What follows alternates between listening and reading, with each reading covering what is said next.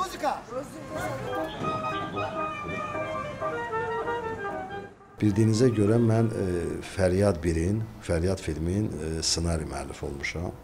E, rəhmətli Ceyhun Mirzəyev də rejissor kimi onu çəkib, özü də baş rolda oynadı. E, o vaxtları o film deməli bizim birinci Qarabağ müharibəmiz haqqında haqqında idi və ağır film idi. Bizim bax bu e, qələbə çaldığımız, zəfər çaldığımız 44 günlük müharibə dövründə o e, birinci Fəryad filmi çox daha da baxımlı oldu, daha da çox maraq doğurdu və sosial şəbəkələrdə e, başladı başladılar yazmağa, səsləndirməyə ki, bu Fəryad 2 niyə çəkilmir? Niyə Vaqif Mustafayev Fəryad 2 filmini çəkmir?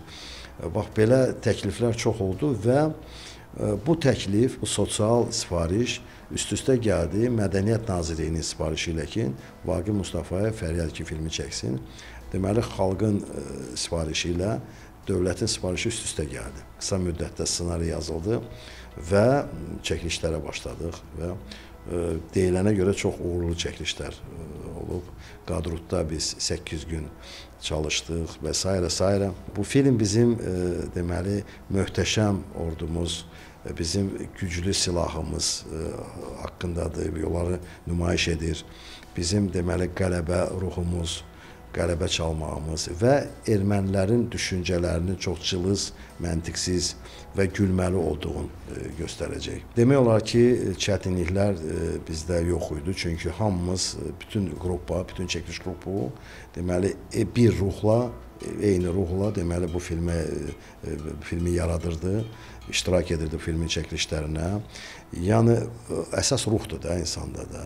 Əgər sən vətənin üçün, sən dövlətin üçün, millətin üçün nəsə edirsənsə, burada çətinlik sən gərək çətinlik görməyəsən. Aktyorlar deməli bizdə əsas rolda istedadlı aktyor Hikmət Rəhimov Hikmət Rəhimov çalışır və başqa aktyorlar çalışıb. Deməli, təbii ki, erməni rolunu ifa edən erməni yox, başqa deməli millətdən olan adamlardır, erməni rolunu ifa edən. Birinci Fəryadda biz xahiş eləmişdik Məlik Dadaşovdan, o erməni rolunu ifa edirdi. Amma indi deməli erməni rolun başqa millətlərdən olan insanlar Azərbaycanlını Azərbaycanlı oynayır, Rus Rus oynayır, ermənini deməli başqa millətdən olan adamlar oynayır ki, amma əsas rol Azərbaycanlınındır, Hikmət Rəhimov oynayır və çox da gözəl oynayır. Bu film elə əvvəldən elə qurulub, elə yazılıb, elə çəkilib ki, bu dünyaya çıxsın və bizim deməli e, yüksək millət olduğumuzu, bizim möhtəşəm e, deməli qələbə e, çalan, qələbə qazanan millət olduğumuzu dünya görsün, bilsin.